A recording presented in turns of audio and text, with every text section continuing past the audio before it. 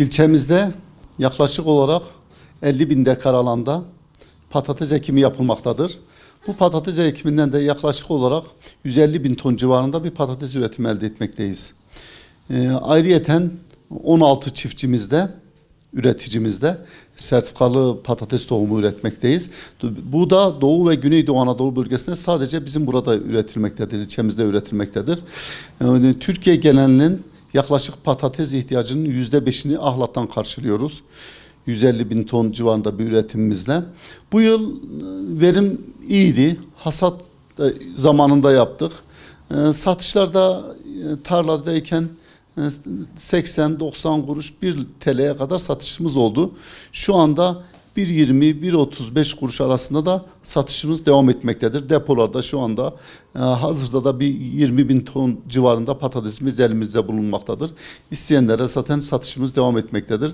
Ayrıca Irak pazarına da bu yıl e, bir e, 20 bin ton civarında bir patates gönderildi. E, bu da biraz e, bizi e, fiyat olarak çiftçimizi rahatlattı.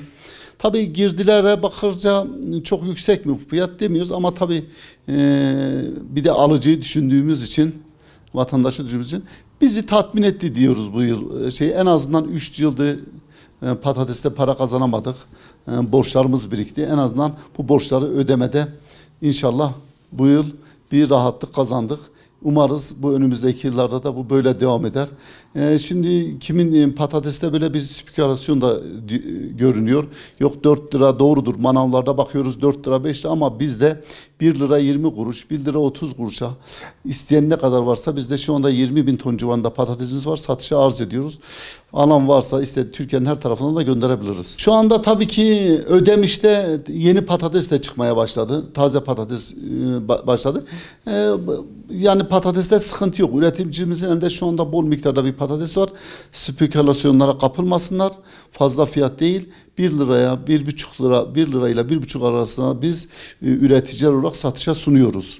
Yani e, tabii ki marketlerde 4 lira 5 lira görünüyor da bu aracılar kazanıyor. Bunun çiftçiyle bir alakası yok. Gerçekten aracı kazanıyor. Biz çiftçi olarak bunu bir 4 lira 5 lira gibi bir fiyatlara hiçbir zaman satmadık. Öyle bir talep de gelmedi. Zaten talep gelirse şu anda 1 liraya da biz satışıyor. Satışa sunabiliyoruz. Tabii ki cipslik ayrı bir ürün olarak e, geçiyor. E, Bu da tabii ki birkaç tane büyük firmaların elinde. Onlara biz buradan üretim yapıyoruz. Şu anda anlaşmalı üretim o cips e, fabrikalarına üretim yapıyoruz. Onlar da bir, e, epeyce miktarda bir çiftçimiz. Onlarla sözleşmeli ekim yapıp onlara veriyoruz. Onların da ihtiyacını buradan karşılıyoruz. E, tabii fabrika burada olursa da- daha iyi olur. Tabii en azından bölgemize bir katkı sağlar. Birkaç tane işçimiz çalışır orada. Nakliyeden sorun olmaz. O zamanki daha iyi olacağını düşünüyoruz. Onunla ilgili tabii ki çalışmalarımız oldu. Fakat bugüne kadar bir netice alamadık. İnşallah bununla ilgili de çalışmamız devam edecektir.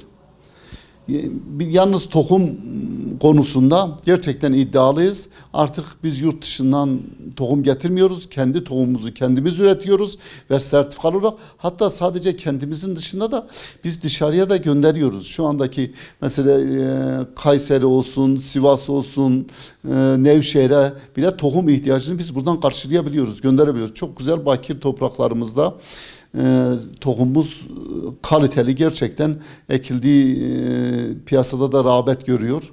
Bu konuda da iddialıyız tohumda da.